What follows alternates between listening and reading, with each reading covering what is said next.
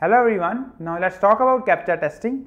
So if you don't know what are CAPTCHAs, so CAPTCHAs is a technique in order to distinguish the users from the human or bot, which means it CAPTCHAs are used on a web application in order to distinguish whether the user that is accessing that web application is human or a bot. So CAPTCHAs are also used to secure the website from CSRF attack but if you use CAPTCHAs in order to protect CSRF then it's not a recommended measure because the CAPTCHAs can be easily bypassed.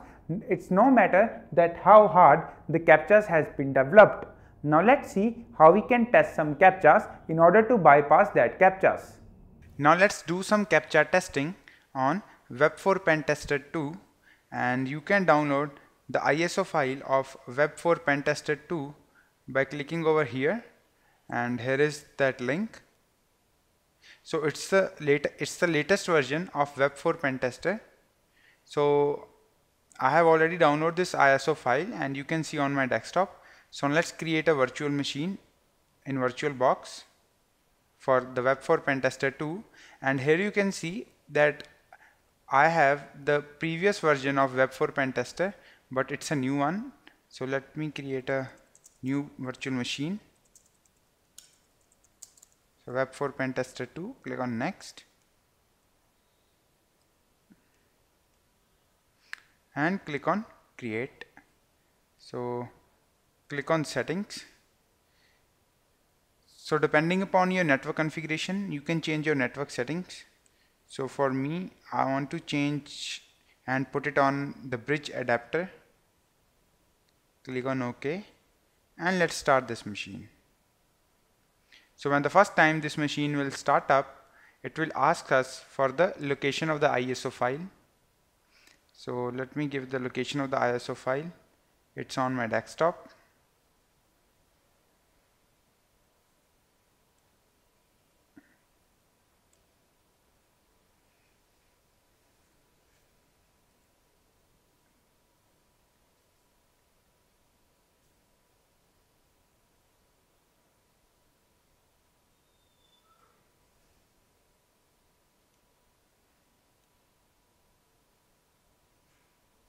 So here you can see that right now we are inside the shell of Web for Pentester. Now let's check its IP address. So its IP address is 192.168.0.141. So let's open this IP address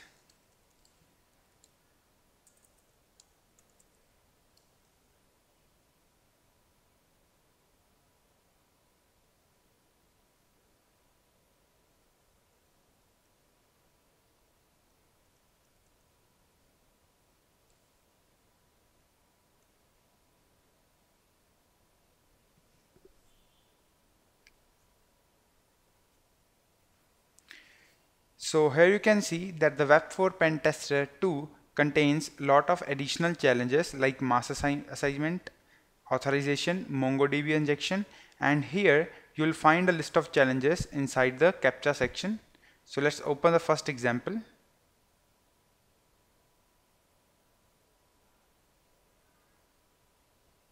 So here you will find a CAPTCHA along with its field.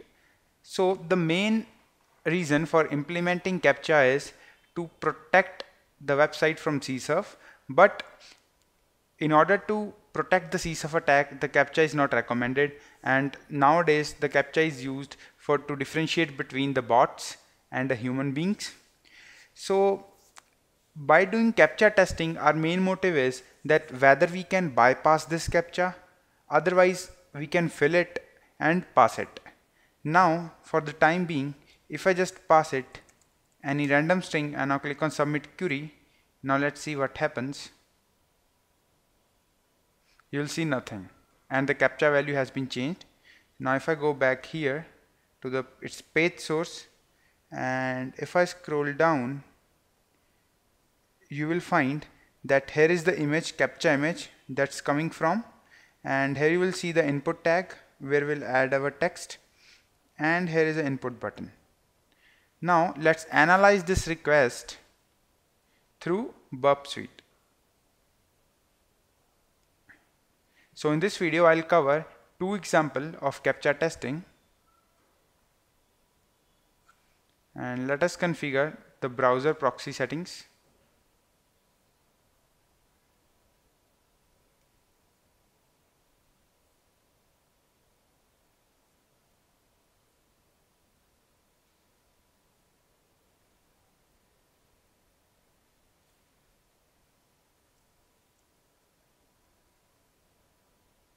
Okay and here you can see that my burp suite is up and running.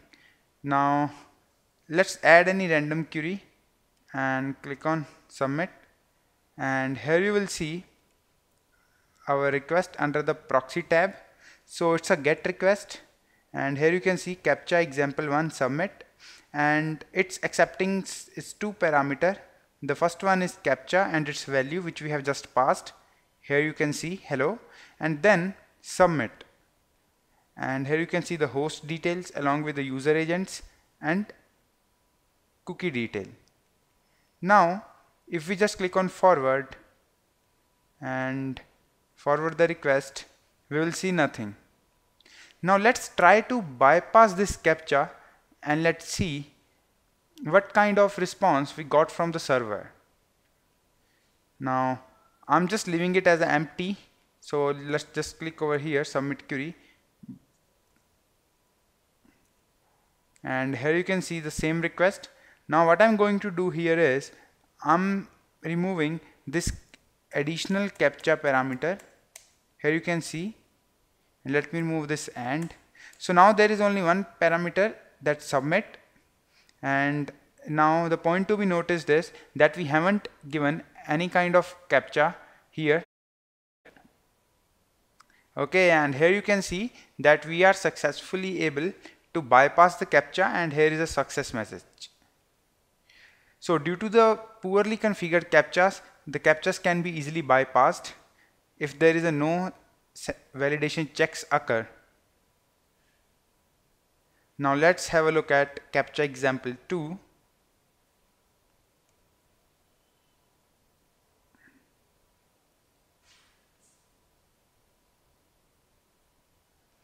okay so here you can see the same challenge the same captcha challenge.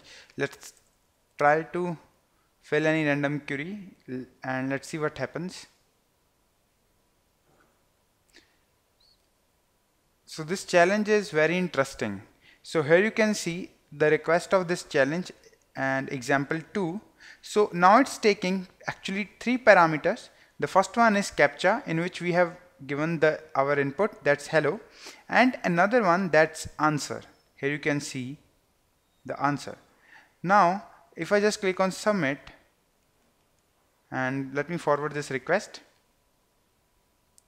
and we will see nothing. So in the most of the cases what happen is the captchas actually comes from the image source. Now if we just look at its page source of this challenge we'll come to know that by implementing this captcha, the web developer have actually hard coded the value of captcha in the page source. So if, if we just look at the page source and scroll down, here you will see the captcha image and here is the hidden input field. Here you can see input type is hidden and its value is this, which means the value of this captcha is hard coded already inside the source code. So if this is hard coded inside the source code or if it is already present inside the source code, then what's the need of implementing the CAPTCHA? So it's another a wrong application logic which might lead to bypass this CAPTCHA. So it's again a wrong application logic. Now we can also do one thing. Let's now we came to know that this value is actually present inside a hidden input field. Now let's go here and let's go to form and display form details. And if we display form details so here you can see that the hidden input field is displayed here in front of us. Let's copy this input field and let's paste it here. Now click on submit query and let's see what happens. So our request goes to the Burp Suite. Okay click on forward. Let's just go back and let's just remove this. And here you can see we are successfully able to crack this challenge. So there are different different captchas implementation and their weaknesses which we will cover in the separate video series. So but for the time being we have discussed that what's a captcha testing what's the use of captcha and how we can find the missed security configurations in captcha. Thanks for watching this video